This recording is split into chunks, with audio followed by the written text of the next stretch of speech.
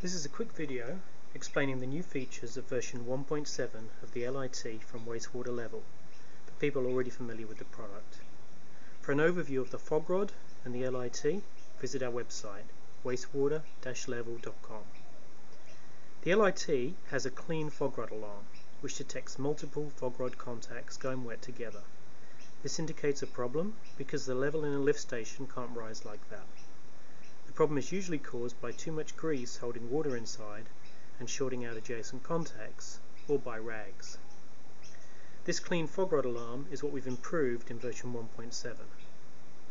This is the LIT, and this is a simulator box which shows by these lights the 10 level relays and two fault relays of the uh, LIT. And these 10 switches simulate the level from the FOGRod in a wet well. So right now, levels at 20% as shown by the level LEDs and by the relays. And the clean FOGRod dip switch is on, which is where you want it to detect this problem. Now, grease problems are usually worse close to the lead start point because that's the usual high water mark. Let's assume the contact 5 is our lead start and that contacts 4 and 5 are effectively shorted together with water held inside this bad grease. So the level gets up to 30% and everything's fine. And a little while longer it gets up to contact 4, 40%, but because of this bad grease shorts up to 50%. The clean FOGRod alarm light starts flashing and so far the fault relay wired to this light has not come on. An internal 3 minute timer is running. I'll explain the reasons behind the timer shortly. Notice that relay 4 is turned on but not relay 5 so the lead pump hasn't started and 40% levels come on but not 50%. The LIT knows that the level has reached 40% but because 50% went wet at the same time the level has definitely not yet reached that point. At the end of the timer period, it'll turn on that level relay.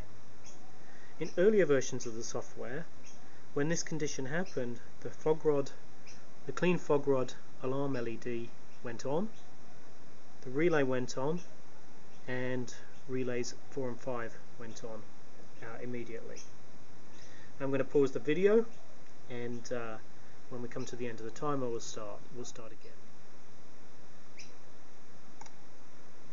Okay, so the timer's run out and uh, clean FOGRod alarm light has gone on solidly, the fault relay has latched on, relay 5's come on, so now the lead pump will start, and the two LEDs that were affected, or the level, the level LEDs are flashing to show the uh, FOGRod contacts that have been affected by this problem. So when you visit site, you see from the alarm light there's a problem, needs to be addressed. Of course, if you have telemetry wired into this fault relay, then uh, you'd know about it uh, you know much sooner. You visit site, you see there's a problem, and you see which part of the FOGRod's affected. How do we deal with it? That's easy. We clean the FOGRod by just pulling it up through the wiper, the squeegee, as part of the mounting bracket. Now here's a big difference from version 1.5. Let's reduce the level in the well. The fault relay and the fault LED, they stay on and the affected levels keep flashing. In the old version of software, those um, that the fault light and the fault relay, flashing LEDs, they would go away. The fault condition would clear basically, so it could be missed. But in this new version, the fault can't be missed. So how's the fault actually cleared? Well, either by cycling power or by flicking the dip switch into the off position and back into the on position. We want to move it back to on, otherwise we won't detect the fault condition in the future. An important note that everyone who does maintenance needs to know. When you clean the FOGRod and put it back in the well, here's what happens. Basically, you cover all the contacts pretty much at the same time. So it's the same as the fault condition. All you've got to do flick the switch to the off position and back to the on position and you've dealt with it. So please let anyone doing maintenance know that they will need to clear the alarm after putting the rod back into the wet well. Now let's look at the reason behind the timer. let's empty the well. And let's suppose the clean FOGRod alarm has been ignored for some time and the grease buildup has got so bad that contacts 1 to 5 are basically all shorted together. In this example again we're assuming that contact 5 is the lead start point on the FOGRod and so relay 5 is wired to the lead start point in the panel. Now this extreme scenario is not so common but it can happen.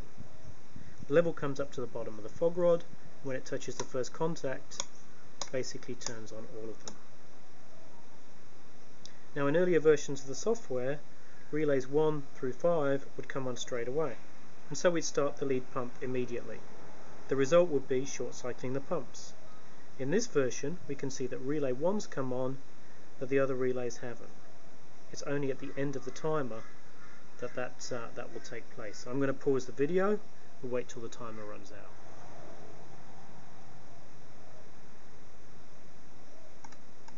Okay, so the timer's run out and we see that relays 2, 3, 4 and 5 have come on but only after 3 minutes. So now the lead pump would start. As before, the fault relay only activates at the end of the time period and now all LEDs 1 to, through 5, 10% to 50% are flashing to show the location of the problem. So with the new software, we prevented short cycling of the pumps. Even this in this extreme case, a pump can only start every 3 minutes. In a two pump station, that's a maximum of 10 starts per hour per pump. So in summary, the two main features of version 1.7. First, when the LIT detects a bad grease buildup or rags affecting level measurement, it latches on the clean FOGRod alarm and the alarm doesn't go away until power is cycled or the dip switch is moved. Second, when it detects the condition it starts a 3 minute timer. The LIT only activates a relay for the first wet contact until the timer's run out, when it activates the relays for the other wet contacts. The LIT also has an analog output that can be used for level or for telemetry. The value of the analog output reflects the level indicated by the highest activated relay. Now for people who have another minute or two to spare, I'll explain what happens in uh, some other cases that can happen. So let's clear the alarm. And let's say, as in the first case, we're at 30%, the level gets to 40%, and because of a rag, we're short up to 50%. So same situation, the timer starts, the light starts flashing, but let's suppose in this case, the rag falls off before the timer runs out. Simple. The fault doesn't activate. So that fault condition needs to be present for that whole three minute time period, otherwise the fault condition does not um, activate. Second case I want to look at, let's suppose the inflow rate is actually very high. So we get to this 40% point and as before we're shorting up to the 50% because of say bad grease or rags and the alarm starts flashing but until the timer period we're not going to activate uh, relay number 5 but in this case the inflow is so high that maybe after 2 minutes we actually reach contact 6 but when we get to the level above those affected contacts the LIT knows that that's the real level value. It knows there's a real problem. So it latches on the fault turns on the fault relay turns on all the relays up to the highest point. And so of course we've now started the lead pump. Last case I want to show, clear the alarm again, is uh, just to make it clear that when we have, um, let's say we have some kind of rag condition, so we get to contact number one, and let's say contacts two to five are shorted together with a rag, it's just the same situation as um, with adjacent contacts. So here we go, we've, we've hit the 20% point, the clean FOGRod light's flashing. I won't run right to the end um, of the timer period, but at that point we would be turning on uh, relays 2 through 5. Okay, so that's basically all the new functionality that's been put into the LIT in version 1.7. Thank you very much for watching this video.